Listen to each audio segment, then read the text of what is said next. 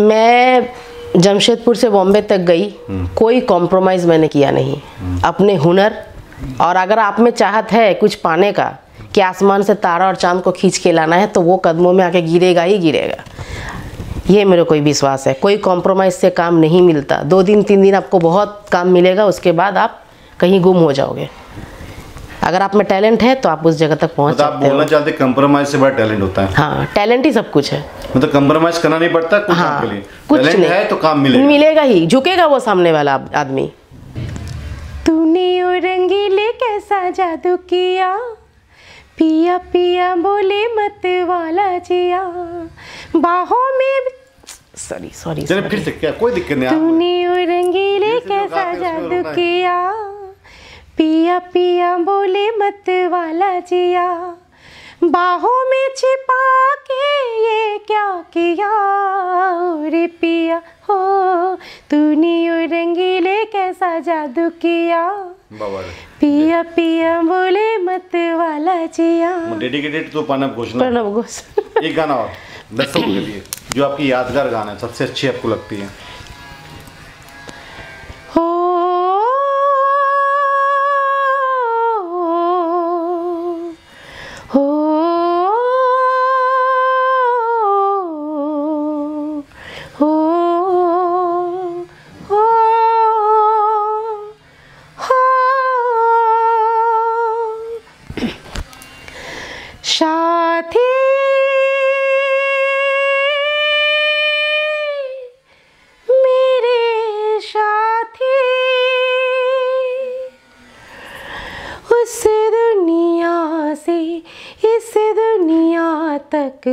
तुझको ढूंढती आई साथी रे। तू कहाँ है कहाँ है कहाँ है? कुछ कमेंट्स कहाँ है? आज हमारे साथ वर्णाली घोष जी हैं जि, जिन्होंने काफ़ी वेब सीरीजेज में और सीरियल्स में काम कर चुकी है और स्टेज शो परफॉर्मेंस भी दे चुकी है। नमस्कार वर्णाली जी। नमस्कार। और हमारे साथ उनके हस्बैंड भी हैं पन्नब घोष जी। आप पहले बताइए वर्णाली जी आप किस किस वेब सीरीज़ में और किस किस सीरीज़ में काम कर चुकी हैं? मैंने वेब सीरीज़ में काम किया है दो तीन वेब सीरीज़ में काम किया है मैंने। हॉकर मूवी में काम किया है वेब सीरीज़ जो अमेजोन प्राइम में आता है। उनमें उसमें मैंने एज अ कैरेक्टर आर्टिस्ट मैंने काम किया है। लेडी कांस्टेबल का मैंने काम किया था उसमें। और कुछ सीरियल्स का नाम बताइए। सीरियल्स गुप्ता ब्रदर्स जो आपका स्टार भारत में आता है। लॉकडाउन की लव स्टोरी स्टार प्लस में आता है। उसमें मैंने एक दो दिन काम तीन दिन काम किया था। अ, बगल वाली भाभी बनी थी उसमें। और अभी सख्ती चल रहा है सख्ती में मैंने बहुत दिन काम किया। बना लीजिए आपका मतलब जन्म कहाँ से हुआ? आपका एजुकेशन कहाँ से ली? कुछ दर्शकों को बताइए पहले। मैं ऐसे मानगो की रहने वाली हूँ। मेरे शादी मानगो कहाँ पर है? मानगो मानगो आपका जमशेदपुर। जमशेदपुर मानगो। वहाँ और मेरी ससुराल है आपका आदितपुर में। और एजुकेशन कहाँ से ए- एजुकेशन मेरा शारदामणि गर्ल्स हाई स्कूल। वहाँ से मैंने मैट्रिक किया। उसके बाद बारहवीं मैंने ग्रेजुएट कॉलेज से किया। और उसके बाद शादी? उसके बाद शादी। मतलब जो मिडिल क्लास परिवार में होते हैं कि भाई इंटर दे दो तो भेज दो। बनाली जी के बारे में एक बात बताना चाहते हैं आप लोगों को। एक ऐसी लेडीज़ है जो शादी के बाद भी अपने करियर को छोड़ा नहीं और शादी के बाद भी अपने आगे का सफ़र को तैयार किया। सुनते इनकी जुबानी बातों को। क्या हाँ। क्या आप शादी के बाद आपको दिक्कतें हुई? अ, बा- कैसे आप बॉलीवुड तक पहुँचे? शादी के बाद मैं, ए, मैं मतलब कुछ ना कुछ दिमाग में खुरपती दिमाग था ही मेरा कि कुछ ना कुछ करना है और अपने हाथों में कुछ मतलब अपने हाथों में दुनिया समेटना है। ये मेरा एम्बिशन था। चलो दुनिया मुट्ठी में हाँ हाँ ये था। और कभी पार्लर भी यहाँ पर अपना पार्लर खोली कभी कॉस्मेटिक्स का बिज़नेस खोली। मतलब बॉलीवुड जाने से पहले आप कुछ ना कुछ कर रही थी। मतलब लेडीज़ ओरिएंटेड वर्क किया। हाँ हाँ हाँ किस इसका माल उसको इसका माल उसको।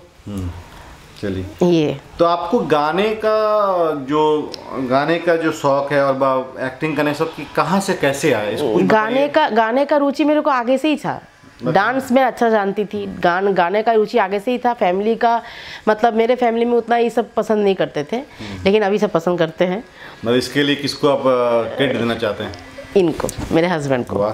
मेरे हस्बैंड ही सब कुछ है। उन्होंने मुझे बहुत सपोर्ट किया कि तुम करो मैं हूँ। तुम आगे अपना सपना पूरा करो। तो आपका सपना जो था एक्टिंग करना गाना गाना तो हस्बैंड आपको सपोर्ट किया? सब उनका ही सपोर्ट अभी तक है कि तुम करो। चलिए आप पहले गाना गा दीजिए। इसी खुशी में अपने हस्बैंड के लिए गाना गाइए जो दर्शकों को भी सुनना है और हमें भी सुनना है। तूने रंगीले कैसा जादू किया? पिया पिया बोले मत वाला जिया। बाहों में सॉरी सॉरी चलिए फिर से क्या कोई दिक्कत नहीं तूने रंगीले कैसा जादू किया? पिया पिया बोले मत वाला जिया। बाहों में छिपा के ये क्या किया? रे पिया हो तूने रंगीले कैसा जादू किया? पिया पिया बोले मत वाला जिया। डेडिकेटेड तो पानब घोषणा। प्रणव घोष एक गाना और दर्शकों के लिए जो आपकी यादगार गाना है सबसे अच्छी आपको लगती है।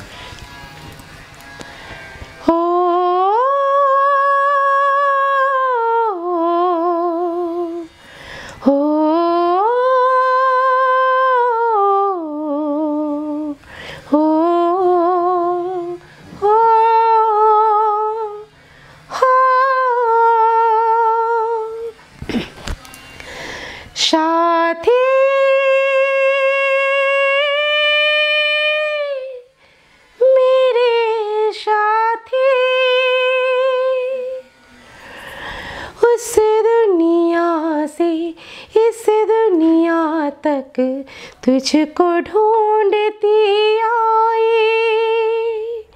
साथी रे तू कहाँ है? कहाँ है? कहाँ है? कुछ कमेंट्स कहाँ है नहीं कुछ नहीं। कुछ मतलब आप यहीं पर ही हैं हाँ। ऐसे ही गाती है तो मैं थोड़ा खो जाता हूँ हो जाते हो, वाह वाह वाह। चलिए अभी बहुत बड़ी बात अच्छी बात है। दोनों का मुलाकात कैसे हुआ? क्या लव मैरिज है या एंगेज मैरिज नहीं नहीं है ये अरेंज मैरिज है। अरेंज मैरिज हाँ। अरेंज मैरिज है। मतलब ये आपको देखने के लिए ना आप देखने के लिए? नहीं ये आए थे। कैसे कुछ बताइए। ये आए और मैं पसंद मैं इनको पसंद कर ली। कुछ- ये कुछ बोले ही नहीं। मैंने बोल दिया मुझे लड़का पसंद है। क्या देख के लगा पसंद है? पता नहीं आपको पता है नियति होता है किस्मत जिसके साथ हो जाता है तो। हो जाता हाँ। ये मेरे देवर के साथ आए थे। मेरे चाचा ससुर का बेटा और ये आए थे। तो आपको देख के आप कैसे हाँ बोल दिए इनको? इनको तो पसंद आ गया। आप, आपको क्या देख के पसंद लगा? ऐसा कुछ नहीं शादी करना बस। मतलब एक लड़की होनी चाहिए बस। बस। फिर फिर प्यार हुआ आस्ते आस्ते क्या? हाँ किस गुण को देख के इनको प्यार हुआ आपसे? पत्नी है इसलिए प्यार हुआ या कुछ अच्छी चीज़ें लगी इनके अंदर? है और किसी चीज़ करने का जुनून। वही। अच्छा लगा। और आप क्या चाहते हैं कि मतलब आपकी पत्नी और आगे बढ़े डेवलप करें समाज में नाम करें? सोचती है वो कंप्लीट करें। चलिए बातों में तो खो गया। क्वेश्चन एक बाकी जो अहम है जो जनता को जाननी और जनता के लिए बहुत इंटरेस्टिंग सब्जेक्ट भी है। बा जो जूनियर्स आर्टिस्ट हैं ये सब कहते हैं कि भाई बॉलीवुड व फ़िल्म इंडस्ट्रीज़ में कंप्रोमाइज़ करना पड़ता है।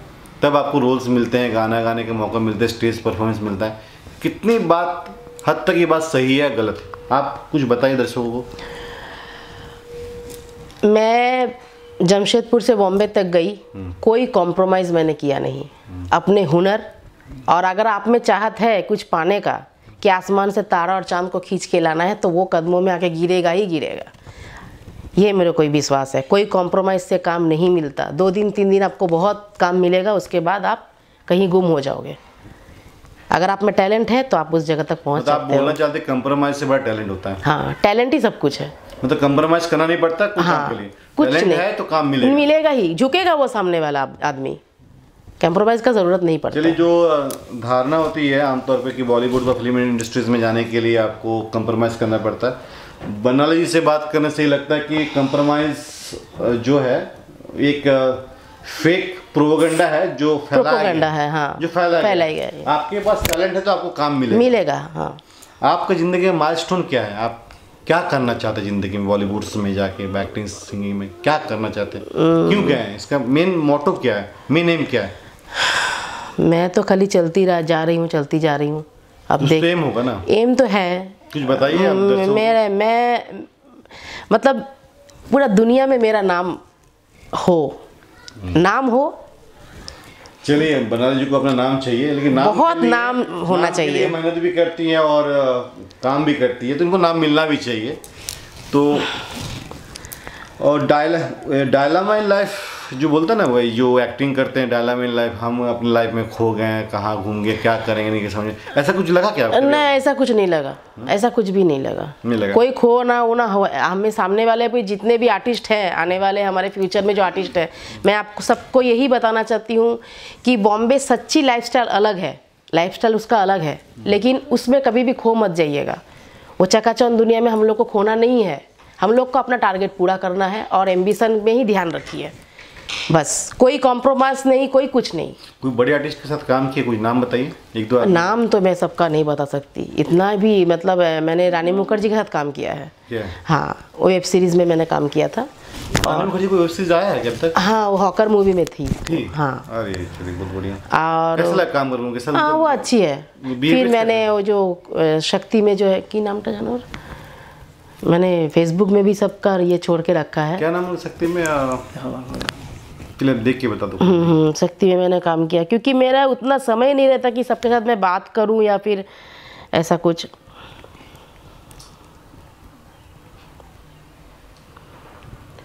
सुदेश वेरी जी के साथ काम किया है। सुदेश वेदी के साथ? हम्म, सुदेश वेरी जी के साथ काम किया है। हम उनके बहुत सारे मूवीज़ भी देखे हुए हैं हाँ बहुत अच्छे एक्टर हैं बहुत अच्छे। हैं। हाँ बहुत अच्छे एक्टर हैं। फिर मैंने इनका नाम मेरे को नहीं पता है लोग का। राखी सावंत के बारे में आपका क्या ख्याल है? वो भी सिंगिंग करती है गाना भी गाती है ऐसा कुछ है? स्ट्रेस स्ट्रोक करती है? नहीं उनको उनका अभी तक मेरे को दर्शन हुए नहीं है। मतलब कुछ बिना दर्शन के भी कुछ है उनके बारे में? अरे मुझे उन, उनका अभी तक दर्शन नहीं हुआ है। और सलमान खान से मुलाकात हुई है बॉलीवुड सलमान खान को मैंने एक बार देखा था सुबह को। जुहू बीच में वो साइकिल लेके जाते हैं साढ़े चार चार बजे। वो बस। मॉर्निंग में? मॉर्निंग में। और अभी अक्षय कुमार साढ़े तीन तीन बजे आते हैं स्टंट करने के लिए उधर। मॉर्निंग में मॉर्निंग में डेली मॉर्निंग उठ जाती डेली मॉर्निंग में और सुबह रविवार को संडे को अमिताभ बच्चन अपने घर के सामने आते हैं। सबको हाथ हाय हेलो है ये हाँ। कुछ आपकी ज़िंदगी में जो आप एक्टिंग करते हैं कोई तो आपका होगा ना कि भाई रियल मेरे भगवान मेरे प्रभु मेरे ये हैं। कौन है आपके? मेरे तो अमिताभ बच्चन। अमिताभ बच्चन हम्म, और गाने के लाइन में लता जी। अमिताभ जी। अमिताभ बच्चन को डायलॉग आपको याद है क्या?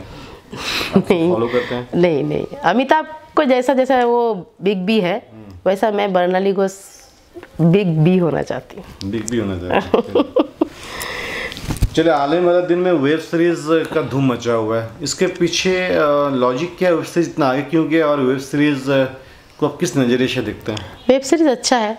अच्छा है कंटिन्यू आप मोबाइल में देख सकते हो। टीवी में बैठने का टाइम किसी को है नहीं। और वेब सीरीज़ क्या है? मोबाइल में छोटा छोटा मूवी है आप जब चाहे लगा के देख सकते हो। मतलब वेब सीरीज़ अच्छा है कि आप अपने समय के हिसाब से उसको देख सकते हैं? हाँ अच्छे है। अच्छा है। अच्छा। हम्म।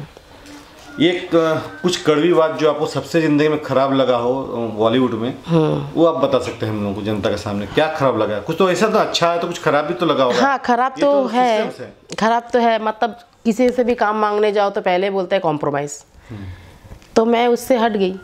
तो मुझे अभी वही आदमी लोग मुझे वही सर लोग अभी काम देते हैं।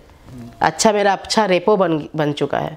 पहले वही आता है। मैडम कॉम्प्रोमाइज़ करोगे क्या? मतलब मीटू का शिकार आप भी हुए तो होते बच गए। हाँ हाँ। मेरे को ऐसा अभी भी ऑफ़र आते हैं लेकिन मुझे वो करना नहीं है।